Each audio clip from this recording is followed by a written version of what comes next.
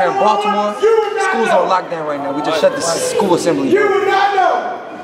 And you will walk right into something. You gonna walk right into something. This is no joke. She's not playing. See what they say? Baltimore!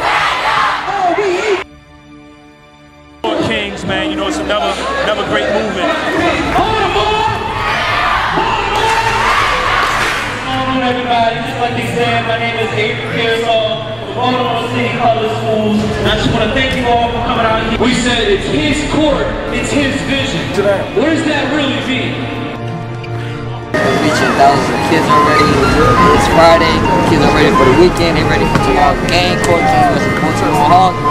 We live see the vision. We're gonna bless the court. That's right.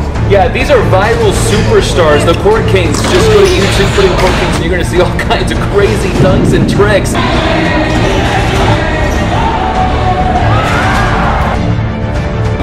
This what they did a tribute.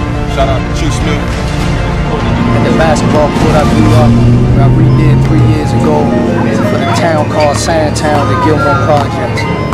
We appreciate it. And they just didn't feel like sitting in the hotel room doing nothing. So what they did is they came out to Palmdale. You see the kids, they're doing a little mini camp. They're doing a little mini camp.